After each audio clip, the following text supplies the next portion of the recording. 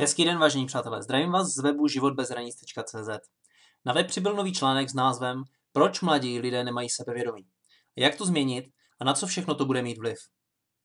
Nejsem sám, kdo si všiml, že poslední dobou mají mladí lidé mezi 18 až 25 lety mnohem méně sebevědomí, odvahy a chuť něco stvořit, než kdy k tomu bylo kdy dříve.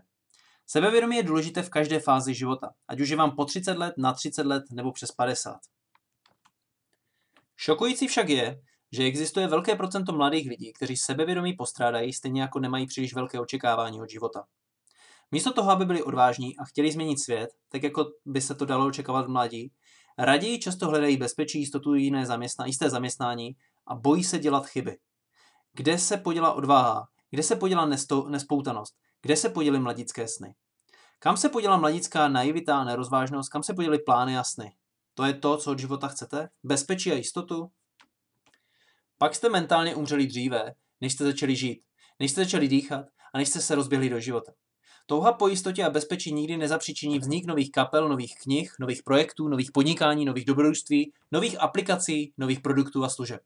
Protože začít něco od nuly vždy vyžaduje určitou ochotu riskovat a dělat chyby. Nízké sebevědomí to není jenom mladých, je to vizitka náš rodičů.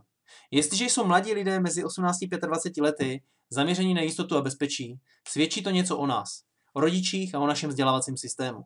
Každý z nás na Zem přichází jako prázdná láhev, do které je postupně nainstalováno vše. Každý z nás je průměrem pěti lidí, kteří jsou nám nejblíže. Platí to pro všechny oblasti našeho života, tedy zdraví, finance, kariéru i vztahy. Proč tak velké procento mladých, mladých lidí touží po bezpečí, jistotě a místo eh, po dobrodružství a zkušenostech? Pravděpodobně jim někdo opakovaně říkal, že je to přesně to, o co by měli usilovat a co by měli hledat. Možná rodiče, možná kamarádi, možná vzdělávací systém. A to je taky důvod, proč naše země na tom není lépe, i když máme spoustu schopných a vzdělaných lidí. Protože život není a nikdy nebude o bezpečí a jistotě. Bezpečí a jistota je v dnešním světě nové riziko, kterého si většina lidí ještě ani nevšimla. Jestli vás, že vás toto téma zajímá více, klikněte na odkaz níže pod tímto videem a přečtěte si celý článek. Jestliže se vám článek bude líbit, sdílejte ho s ostatními. Přeji vám krásný den a těším se na slyšenou a na viděnou. Naschledanou.